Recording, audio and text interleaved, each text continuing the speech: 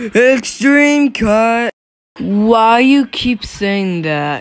Cause you guys made another color blooper. Are you serious right now? You guys, except the word entertainment, have the alphabet park colors.